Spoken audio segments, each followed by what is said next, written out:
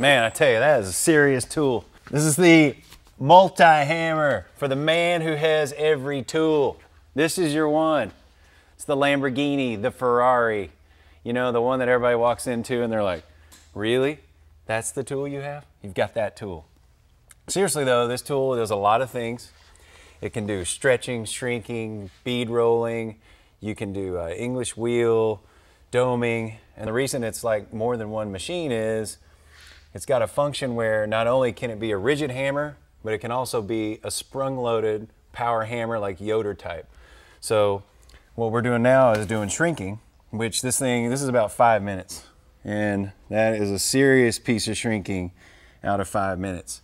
And uh, one of the reasons it does that because it has so much power. I mean, when I'm using it right now, even though it's really controllable, you wouldn't want to get your finger in here. But you see, I'm using it really slow, but you can also pump it up.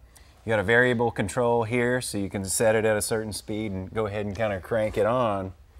But like I was saying, the big deal is up on top.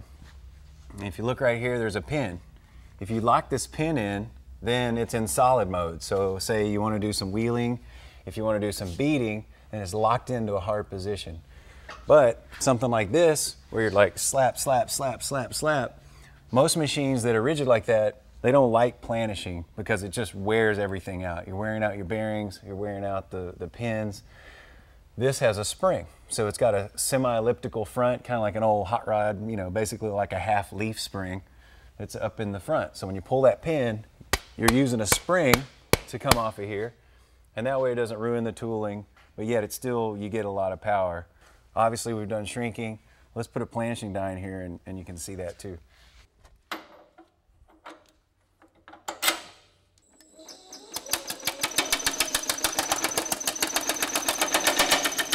Now first I'm just kind of pushing down these ruffles, just kind of pushing them together, get rid of the folds. Now we'll kind of get into the meat. We'll start making some real beef.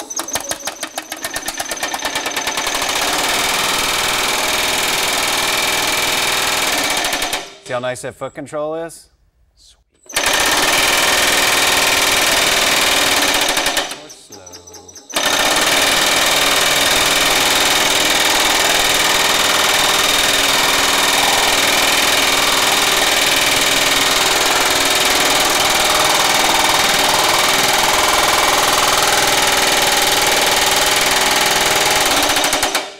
That's real time. Look how quick that is. That's a lot of stretch. It's a lot of shrink to happen that fast and that smooth. Woohoo! Okay, so I got my beading die in. We got our stop set and we changed our stroke so that when you do these kind of beading functions, it's good to be able to get a lot of little bitty hits because you're trying to shape something instead of, you know, when you're trying to uh, shrink or planish, you'll have a bigger stroke trying to get more power per blow. This, you want a lot of little bitty ones to try to make it nice and smooth. And the other thing we did is we locked it into rigid mode. So we're not using that spring anymore. Now we're using a rigid block. That way when we come in and make that line, it'll be nice and smooth and hard. And uh, at that point, we check our height so we kind of see how we're looking. So we've got a metal thickness in there. We'll do that by spinning it around via the wheel on the opposite side. At that point, we're ready to rock. So cool thing about this too, you can start in the middle of the panel. So start that.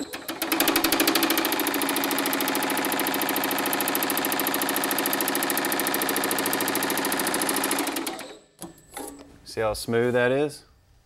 Now say like you're doing a floorboard, you know, floorboard would kind of look similar to this.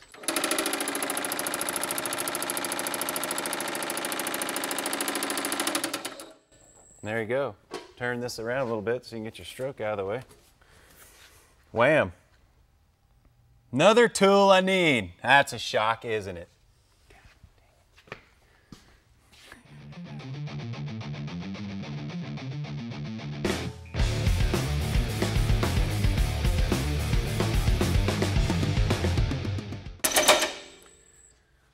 This is definitely one of those tools where you're like, if you have this tool, I hate you. That's a really great tool. Now I'm just doing half just to show you how smash, uh, smash, how fast